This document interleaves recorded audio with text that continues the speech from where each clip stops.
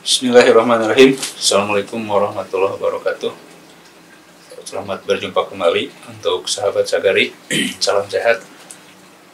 Semoga semuanya dalam lindungan Allah Subhanahu wa taala.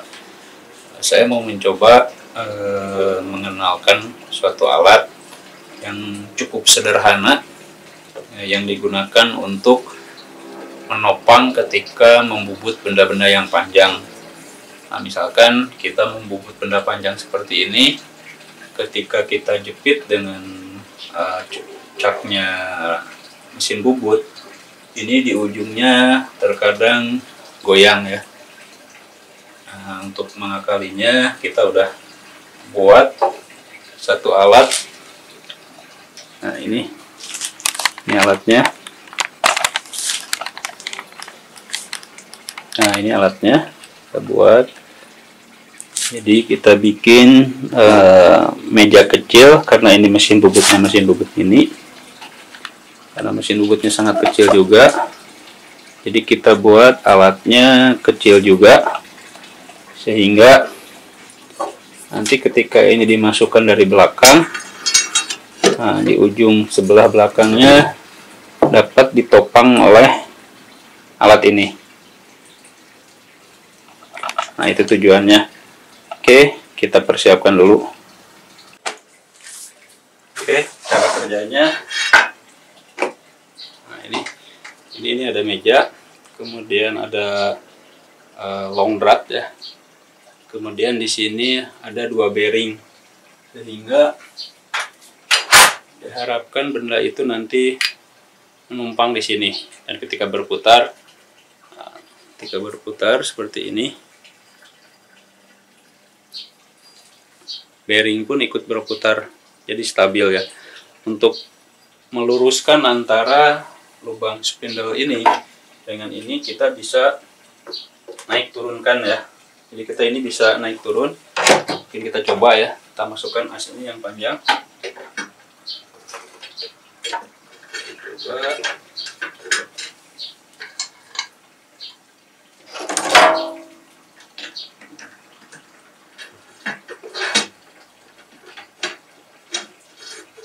Oke, kita masukkan, kemudian kita kunci. Dan kalau bisa di center dulu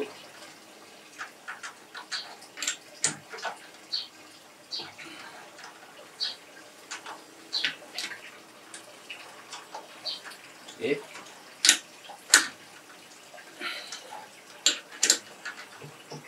kita kunci nah ini kan kita langsung menopang gitu ya. Ini bisa aja pas bisa aja enggak. Kalau misalkan kita mau naik turunkan nah, biar kelihatan.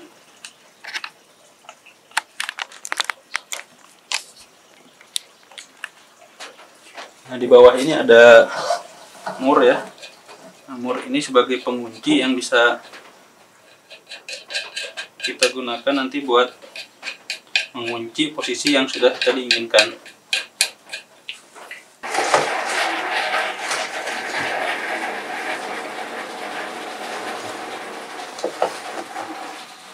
Oke.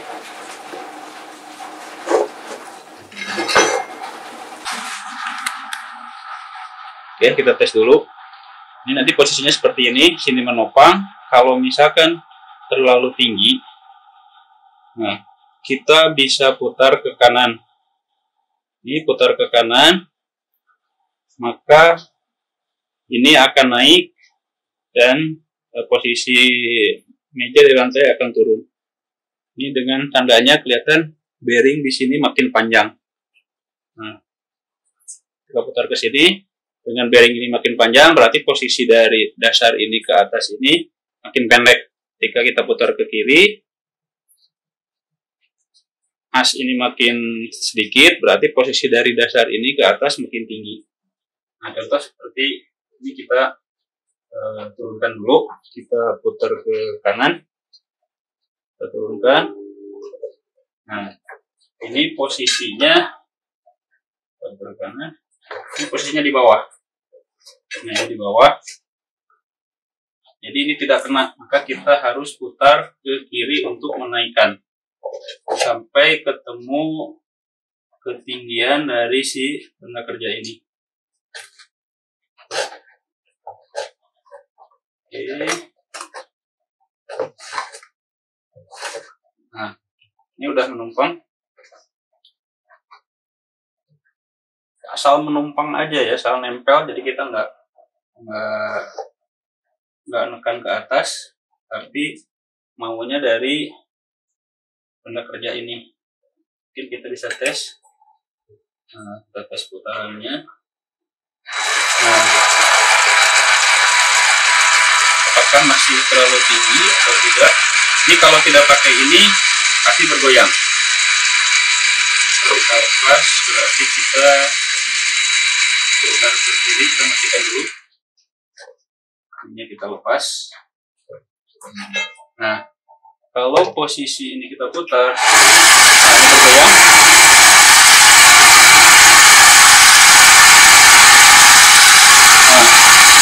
nah cukup bergoyang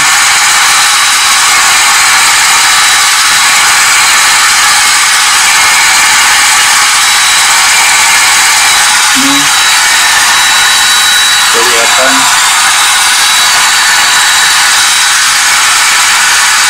Sangat bergoyang ya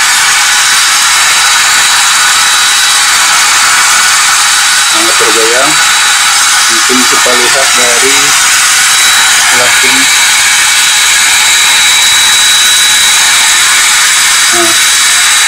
oke kita matikan dan kita pasang ininya.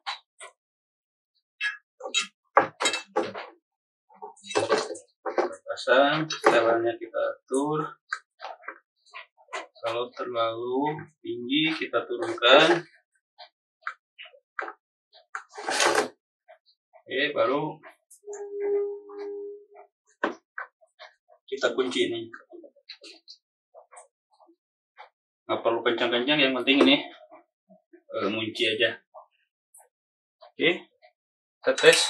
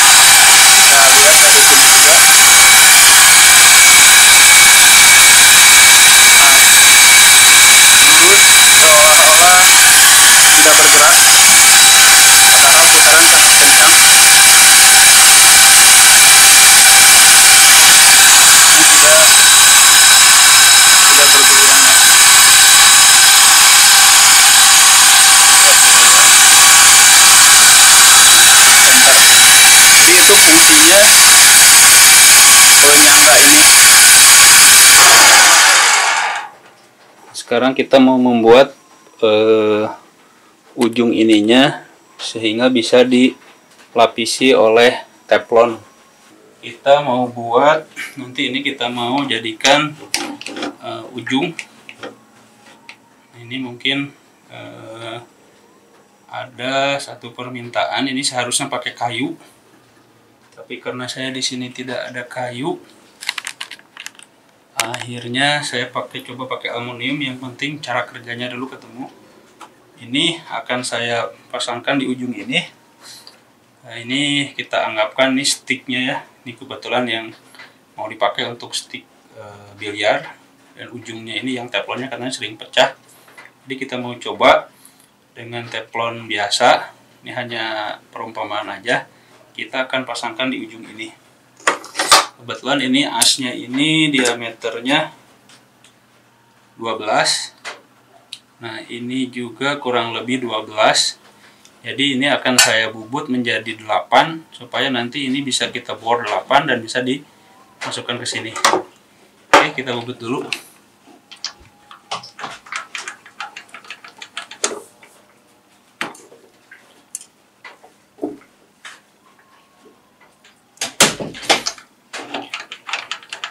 kita bubut nggak usah panjang-panjang ya. Sejauh 1 cm aja yang masuknya. Kita letakkan dulu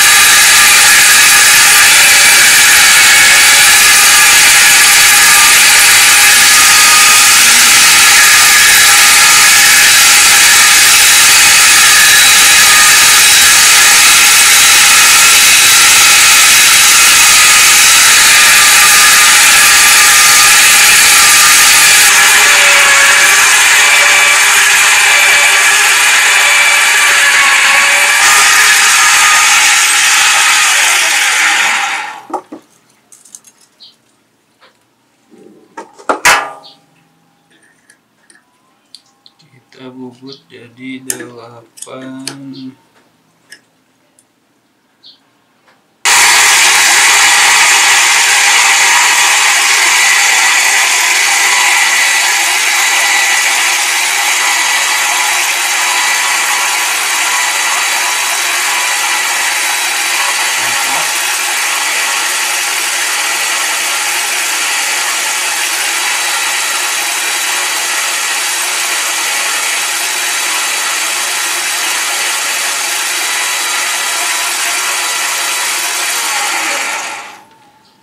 ini udah kita bubut dengan OD8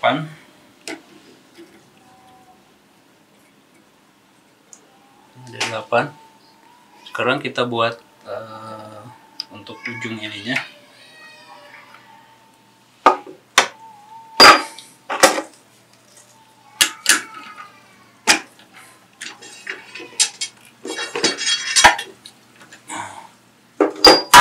Nah, ini ini untuk di shock dimasukkan ke teflon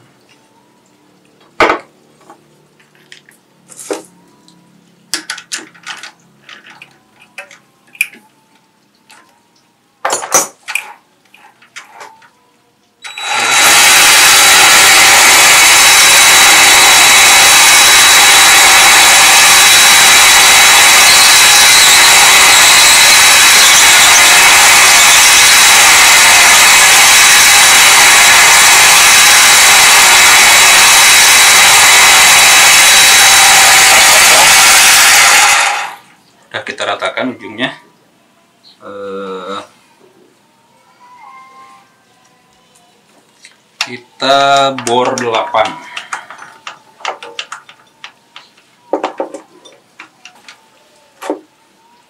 harus di center dulu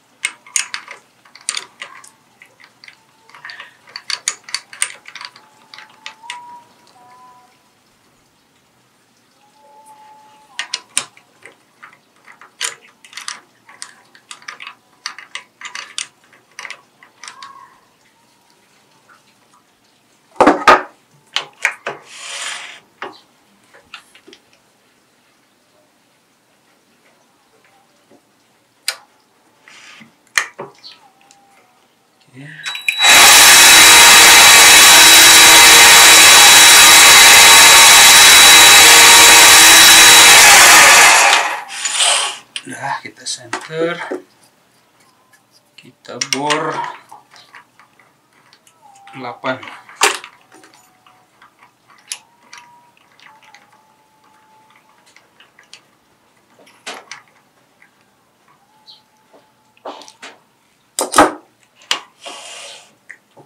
sejauh 1,5 cm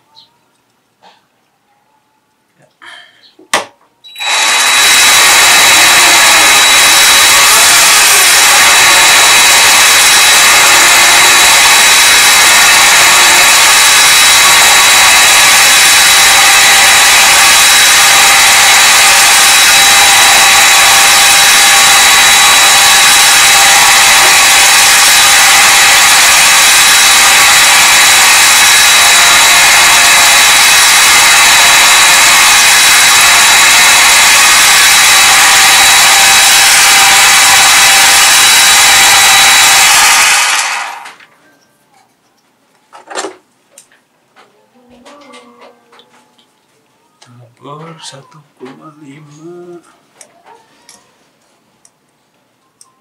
masih kurang sekitar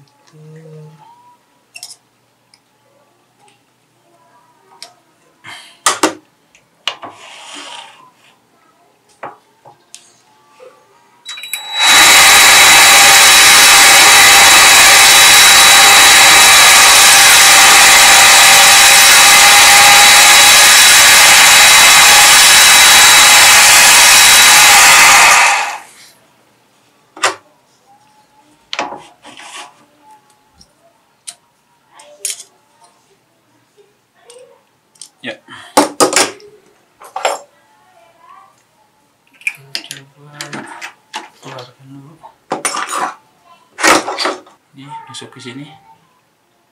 Ini cukup seret ya. Nanti uh, realnya mungkin ini dilem. Masukkan di lem ini tadi saya buat 8 8 kurang. Yang ininya 8 pas. Jadi mungkin agak sedikit keras masukinnya. Ini supaya tidak longgar. Oke kita pasang dulu oke pas ya. Nah ini. Ini udah sangat uh, pas tapi ini tidak kita lem. Kemudian kita akan uh, ratakan dan sedikit camper ujungnya. Kita masukkan lagi. Ini karena panjang. Kita pakai lagi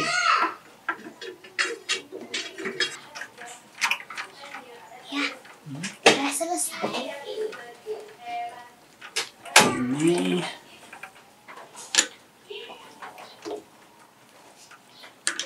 oke kita akan camper ujungnya. Oke ininya karena kurang atas kita naikkan sedikit. Ya. kita naikkan sedikit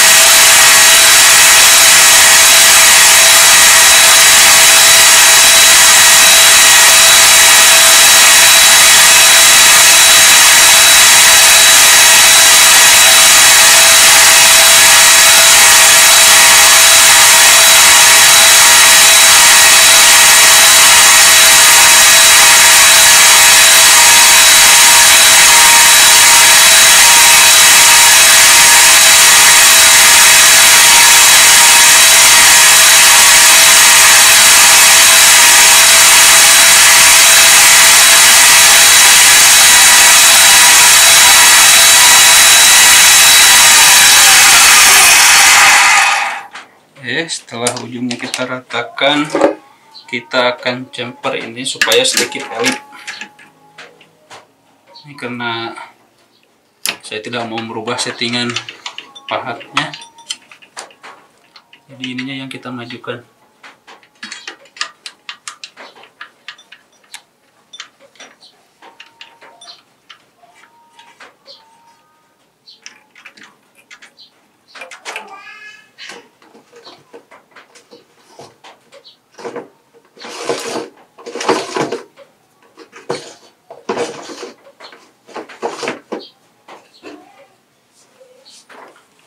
ininya yang kita majukan. Nah ini pahatnya juga sudah kita buat.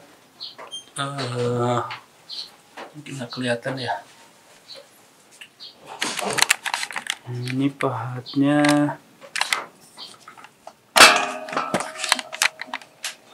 Nah ujungnya ini udah kita cemper udah kita bikin sudut. Mungkin nanti bisa disesuaikan. Sesuai keinginan dari pemakainya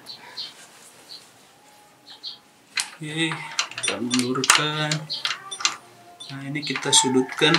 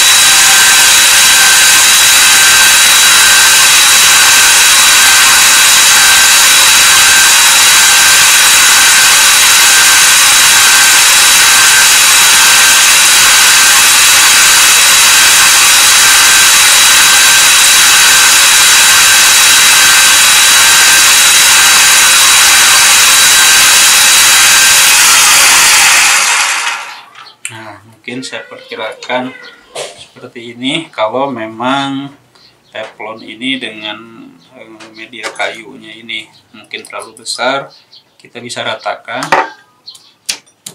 Kita bisa ratakan dengan kita putar pahatnya. Hmm.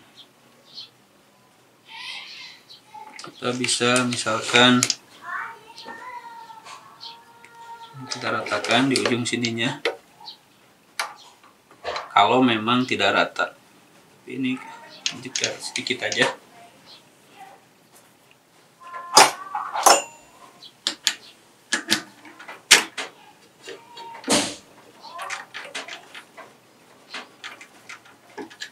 Nah kalau memang ini tidak rata antara teflon dengan kainnya kita bisa bubut sedikit saja sampai dengan eh, rata ya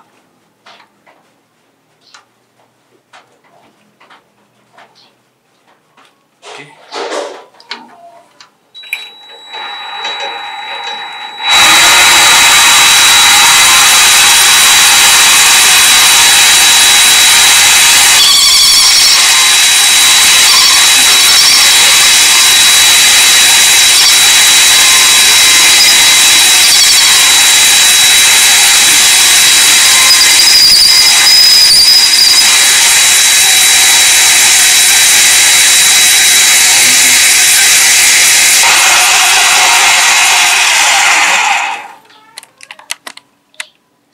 Rasa mungkin seperti ini cara kerjanya. Uh, nanti disesuaikan medianya ini kayu. Uh, mungkin ininya teflon. Dan penopang ini uh, fungsinya hanya untuk menahan aja. Jadi ini hasilnya. Hmm. jadi ini sudah tertanam tadi asnya masuk ke sini sekitar 1,5 cm nanti disesuaikan mungkin dengan keperluannya. Apakah 2 cm atau 3 cm atau hanya 1 cm kemudian biar lebih kuat mungkin dilem. Nah eh, untuk membuat chamfernya nah ini pahatnya. Mana tadi? Nah ini. Eh, ini ini. Nah ini ujung pahatnya nah ini ujung pahatnya udah dibuat tirus. Mungkin sesuai keperluan aja tirusnya segimana. Kemudian yang ini ini seperti pahat kayu ya. Kita buat uh, bawahnya tajam seperti pahat kayu. Jadi ini bisa digunakan untuk meratakan antara kayu ini dengan teflonnya ini karena terbuat dari HSS, dipakai ke besi atau aluminium pun bisa. Oke, ini seperti itu. Dari lubang spindle ini kurang lebih 2 cm. Kemudian di sini kita topang dengan ini sehingga uh, disesuaikan mungkin nanti posisi ininya apakah di sebelah sini tergantung dari panjang medianya nanti uh, sepanjang apa yang pasti secara garis besar fungsinya seperti itu. Oke, teman-teman, mungkin uh, itu sekilas apa uh, kita buat penyangga ya. Buat penyangga kalau yang mungkin suka uh, ngebubut laras juga akan lebih baik, mungkin lebih stabil jika dikasih penyangga seperti ini ataupun benda-benda lain seperti ya ini ada salah satu sampel yang permintaannya untuk uh, stick biliar. Nah ini mungkin bisa juga seperti ini karena ujungnya difungsikan seperti ini. Ada teflonnya ada kayunya. Nah kita bisa atur di sini. Kita bisa bubut sesuaikan dengan uh, teflonnya. Nanti kayunya kita bubut dulu mengikuti lubang dari teflon tersebut dan ujung di sini. Nah ini bisa kita chamfer sesuai dengan sudut kemiringan yang kita inginkan. Nah karena saya tidak paham berapa derajat ini hanya sampel aja. Ya demikian. Assalamualaikum warahmatullahi wabarakatuh